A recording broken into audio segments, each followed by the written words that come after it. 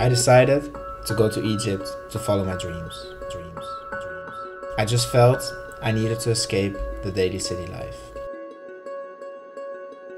In the back of my mind, I wanted to have more adventure, connect more with nature and the present moment. I decided to reach out to my friends Felix and Sabine. They once left their home country to follow their dreams. They wanted to share their kitesurfing passion in their new home, in their new home, A little town having some of the most bluest waters of our planet called Safaga, Safaga, Safaga. Safaga.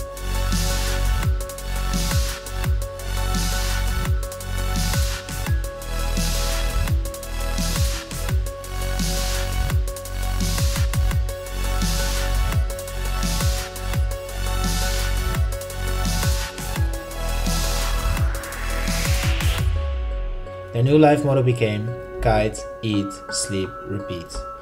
They hosted me and my friends on their cruising boat.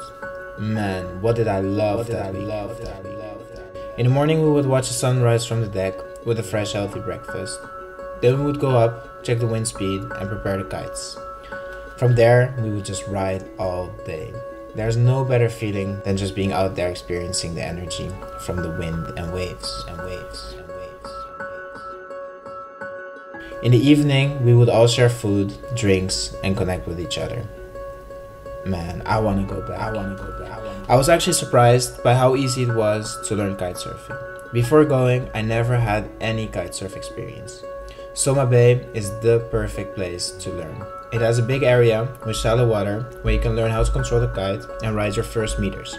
Afterwards, you can go to the deep open waters where you can freely ride and experiment with new jumps. What's great about Tornado in terms of safety, if for some reason you cannot get back or just something happens, you just put your hands in the air and with no time they are there with a rescue boat. They take your kite, your board, and then you get in the boat and they bring you back.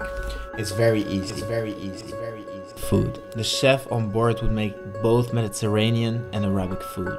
His food was delicious. If there's no wind, no problem. You can do so much more than kite surfing. One time we went snorkeling. My friend, the blue water was unreal. You could see so many different types of fish and coral reefs. I even got lucky and saw a turtle. You can also go yoga, stand up paddling, or even wakeboarding. How do you get there? It's simple. You just book the flight and Tornado Surf Team takes care of the rest. This is the beginning of a new journey. Thank you, Tornado. See you soon. See you soon. See you soon.